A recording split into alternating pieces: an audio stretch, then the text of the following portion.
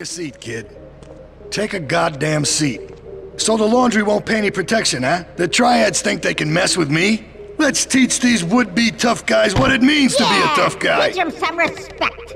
No son of mine gets it by some triads. Your father, God sorry, rest Ma. his soul, took no crap from no triads Yes, Ma. Sicily.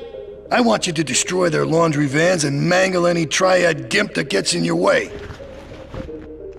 Eight Ball can supply you with what you're gonna need.